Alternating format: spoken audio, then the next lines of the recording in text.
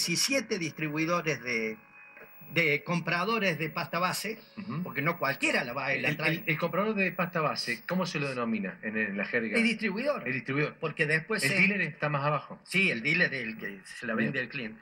Los, hay, en Córdoba hay, según un muestreo que hicimos el año pasado, que ya se lo di a las autoridades, hay 17 distribuidores importantes de pasta base. O sea, compran la pasta base que la traen dos personajes. Uno que le llaman el boliviano y otro un jujeño cuyo nombre todavía no sabemos. Pero los 17 esos están identificados. Ajá. Ahora, ¿por qué no los tocan? Porque si vos lo agarrás esos 17, cada uno de esos distribuidores tiene 100 kioscos, por ejemplo. El Tuerto Cacho, que es uno de esos, maneja más de 100 kioscos en Córdoba. ¿Por qué no lo tocan al Tuerto O Cacho? sea, esta es una gran empresa multinacional. no, no, sí, por Digo, supuesto. ¿cómo está confeccionada? Un distribuidor, Claro. eh, cientos de kioscos Sí. y un montón de gente que depende Claro, de, esta, de Ahora, este negocio. yo pregunto una cosa. Esto sucedió porque se pudrió la cabeza. Mm. Cuando usted deja pasar droga por su territorio, termina pudriendo todo su sistema, todo su sistema de seguridad. Y se le mete la droga hasta el último barrio de Córdoba. Eh, significa esto que actualmente 70.000 kilos pasan al año de la droga grande. Sí. ¿Y cuánto es lo que queda acá en- en- en- de la droga que viene de Bolivia, más o menos? ¿Hay una estimación?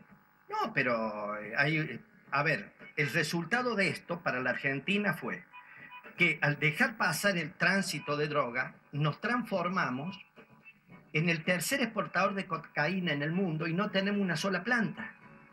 Y como consecuencia de eso nos hemos transformado en el primer consumidor de cocaína de América del Sur. O sea, es el costo que estamos pagando. Pero en el fondo, para que la gente no se complique mucho, todo esto es corrupción corrupción pura. No es que sea, digamos, un, un tsunami de droga que vino, nos llevó puesto. Esto lo dejaron pasar, lo recibieron, lo usaron y nos rompió por los cuatro costados. Ahora, ¿no quieren combatirlo o no pueden ahora? Ahora no pueden. ¿Sabe por qué no pueden? Porque muchos de nuestros gobernantes tienen plata en los paraísos fiscales. Y como en definitiva todo este dinero que genera la cocaína sudamericana solo genera 64 mil millones de dólares al año, va a alimentar los paraísos fiscales y de ahí va a los bancos de los países desarrollados. El que quiera cortar una de las rutas, la nuestra, la de 70 mil kilos, nos vamos a enterar dónde tiene la plata y en qué paraíso fiscal la tiene, porque ahora están extorsionados. Claro. Eh, un detalle, hay una persona que fue condenada hace pocos días atrás, que es el Chancho Sosa. Sí. Dentro de esa cadena, ¿en cuál se ubica? Distribuidor. Es uno de los Ah, uno distribuidores. sí, sí, uno, uno- de los 17. De los 17 distribuidores, compran la pasta base eh, y después la hacen cocinar por esclavos que tienen, porque tienen mano de obra esclava, rolete, hoy se cocina en tu casa, mañana en la tuya, etc. Sí, claro, con, con los montos que están moviendo, estamos diciendo que estamos señalando que cuando uno ve son distintos precios. Sí, sí. El, el- el- sobreprecio de la droga internacional es alevoso. Por ejemplo, la que cruza Córdoba al sudeste asiático parte de, Catamarca, la que va al Pacífico, mil, 150 mil dólares el kilo. ¿Me entiendes? Entonces, pero la droga local, la fabricada acá en base a pasta base de cocaína boliviana, es mucho más barata. No obstante, te pueden hacer por noche un kiosco, un kiosco importante en el este de la ciudad, que venda, venda un, un kiosco importante, referenciado socialmente, te hace 100 mil pesos por noche. Bueno, ahí están algunas de las claves que nos ha traído Ahora, Aurelio, ¿no? ahora, ¿por qué no los tocan?